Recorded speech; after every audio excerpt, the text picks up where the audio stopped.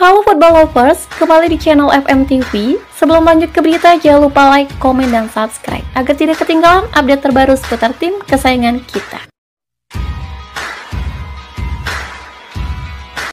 Apa julukan Inter Miami pada fans Lionel Messi?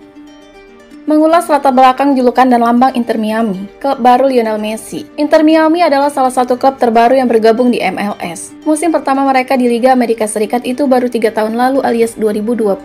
Meski performa mereka di lapangan selama beberapa musim terakhir ini tak sesuai harapan, tak ada yang bisa memungkiri bahwa klub yang salah satunya dimiliki oleh legenda Manchester United, David Beckham ini, mencuri perhatian dunia sepak bola. Apalagi setelah secara bombastis mendapatkan tanda tangan sang peraih tujuh Ballon d'Or, Lionel Messi. Secara formal nama mereka adalah Klub Internasional de Football Miami atau IMCF. Tetapi Inter Miami juga dijuluki sebagai The Herons dan Vice City. Lantas mengapa mereka dijuluki demikian dan dari mana asal nama tersebut? Mengulas segala yang perlu kamu tahu soal julukan Inter Miami. Mengapa Inter Miami dijuluki The Herons? Inter Miami dijuluki The Herons alias si kuntul karena lambang klub mereka menampilkan dua burung kuntul putih besar yang kaki kakinya membentuk huruf M. Heron atau kuntul adalah spesies burung berkaki panjang yang tinggal secara permanen di Florida Selatan. Melintasi wilayah Miami Fort Lauderdale, Heron juga melambangkan ambisi Inter Miami karena ia merupakan simbol kekuatan, perlindungan, dan ketabahan dalam berbagai mitologi di penjuru dunia dan sering kali dipandang sebagai lambang kesuksesan. Heron dipilih sebagai maskot Inter Miami pada 2018 dan julukan tersebut disambut baik oleh para penggemar mereka karena mencerminkan lokasi geografis budaya dan ambisi mereka. Mengapa Inter Miami dijuluki Vice City? Julukan Vice City atau kota kemungkaran milik Inter Miami sebenarnya adalah istilah slang yang kerap digunakan untuk merujuk kota Miami pada tahun 80-an. Jadi bukan cuma digunakan untuk merujuk pada klub sepak bola yang baru saja lahir itu.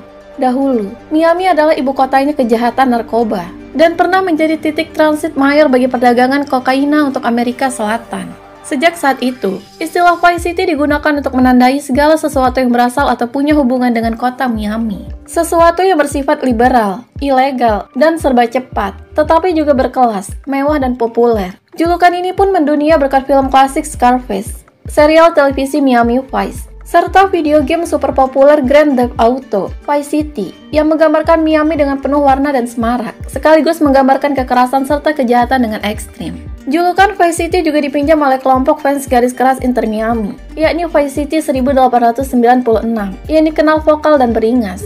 Skema warna Inter Miami juga berhasil melukis Miami dari sudut pandang para penggemarnya dengan sempurna. Kombinasi warna merah muda terang, serta hitam legam mencerminkan dua sisi Miami, yang semarak, gemerlap dan gila party, serta yang gelap, suram dan penuh kejahatan, terutama di era 80-an. Bukan kaleng-kaleng, Lionel Messi bisa kantongi 29,5 miliar rupiah. Pemain bintang timnas Argentina, Lionel Messi, dibayar dengan jumlah fantastis untuk satu kali pose dalam sesi pemotretan. Sebagai duta pariwisata Arab Saudi, Messi bahkan bisa meraup miliaran rupiah untuk satu kali ajang promosi untuk negara itu. Dalam kontrak kerjanya sebagai duta wisata Arab Saudi, pesepak bola 35 tahun ini bertugas untuk menarik minat masyarakat dunia berkunjung ke negara Timur Tengah tersebut. Salah satunya lewat foto liburan baru-baru ini. Memanfaatkan akun Instagram pribadinya, Messi membagikan momen bersantai di Laut Merah sebagai salah satu kampanye agar wisatawan berminat mengunjungi Arab Saudi. Dalam foto itu, Messi nampak bersantai di ujung kapal sambil menghadap ke matahari saat menikmati keindahan Laut Merah.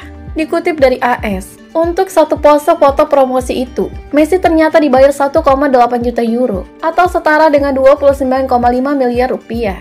Unggahannya saat menikmati suasana di Laut Merah itu menjadi tanda awal dari kerjasama dengan pemerintah Arab Saudi. Messi sepakat menandatangani kontrak sebagai duta pariwisata Arab Saudi dengan durasi 3 tahun. Nilai kontrak yang didapatnya pun tak main-main. Lapulga bisa mengantongi total 22,5 juta euro atau senilai 369 miliar rupiah dari kesepakatan tersebut. Sebagai duta pariwisata, Messi diwajibkan untuk gencar melakukan promosi bagi Arab Saudi di media sosial miliknya. Selain itu, ia juga harus menghadiri acara promosi pariwisata Arab Saudi yang digelar setiap tahun. Menghadiri kegiatan amal yang digelar pemerintah setempat juga menjadi tugas lain mantan pemain Paris Saint-Germain itu. Meski Messi menyandang status sebagai duta pariwisata Arab Saudi, nyatanya ia memilih untuk melanjutkan karirnya di Amerika Serikat setelah kontraknya bersama PSG berakhir. Lapulga memilih klub MLS Inter Miami ketimbang ikut merumput di Arab Saudi. Hal ini dipilih sang bintang demi bisa menghabiskan waktu lebih banyak bersama keluarga.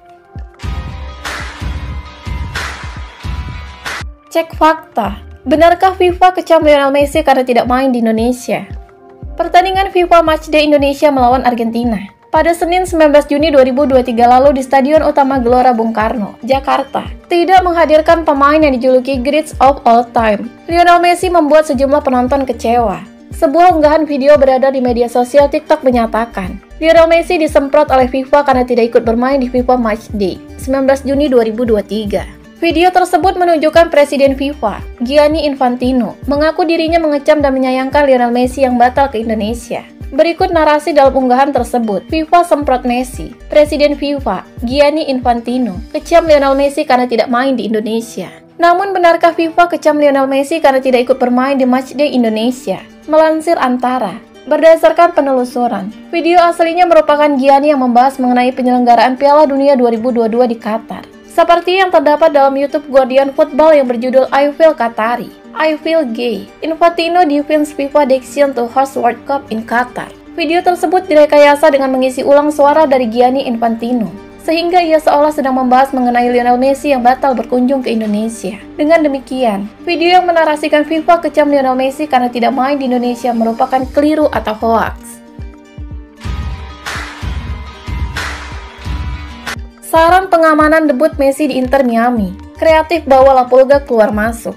Mega bintang sepak bola asal Argentina, Lionel Messi, diperkirakan bakal melakoni debut atau penampilan pertama bersama Inter Miami pada 21 Juli mendatang. Sebelum debut Lionel Messi bersama Inter Miami terlaksana, ada sejumlah masukan yang diberikan kepada pihak klub, terutama soal pengamanan. Adapun informasi terkait jadwal debut Lionel Messi bersama Inter Miami, Kali pertama diketahui berdasarkan pernyataan salah satu pemilik klub, Jorge Mas. Jorge Mas mengatakan bahwa debut Messi bersama Inter Miami ditargetkan bisa terlaksana ketika mereka menjamu klub asal Meksiko, Cruz Azul, dalam ajang Leagues Cup. Laga Inter Miami versus Cruz Azul dijadwalkan berlangsung di stadion di RPPNK Florida, Amerika Serikat, pada 21 Juli 2023. Targetnya adalah agar Messi bisa bermain melawan Cruz Azul pada 21 Juli, kata Jorge Mas dikutip dari Sportskida. Pernyataan dari Jorge Mas kemudian mengundang antusiasme para pecinta sepak bola Amerika Serikat yang ingin menyaksikan aksi Messi secara langsung. Bahkan tiket laga debut Messi dikabarkan sudah habis terjual secara umum. Tingginya antusiasme terhadap laga debut Messi mengharuskan pihak penyelenggara untuk melakukan persiapan maksimal, terutama soal pengamanan. Pasalnya stadion di RPPNK yang akan digunakan sebagai venue pertandingan hanya memiliki kapasitas 18.000 penonton. The Guardian menulis, di RPPNK merupakan stadion dengan kapasitas terkecil di Liga Amerika Serikat atau Major League Soccer. Markas tim Inter Miami itu juga disebut memiliki empat sudut yang sangat terbuka. Saking terbukanya, para pengunjung bisa melihat lapangan dari tempat parkir. Melihat hal itu, kiper cadangan Inter Miami, Nick Marsman sempat mengatakan bahwa timnya belum cukup siap untuk menerima kedatangan Messi.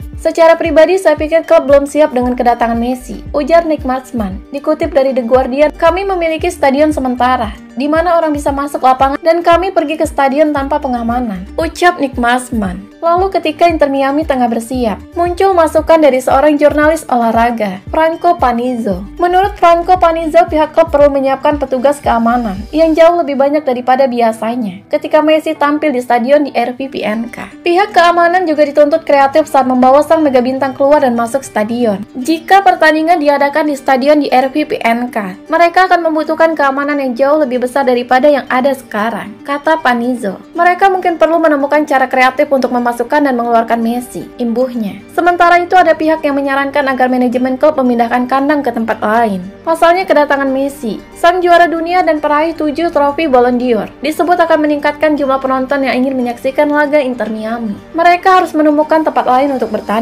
Kata pembawa acara olahraga WPLG Lokal 10, Willy Manso, dengan stadion berkapasitas 18.000. Anda akan memiliki dua atau tiga kali lipat jumlah orang yang ingin melihat Messi bermain. Tutur Willy Manso menjelaskan.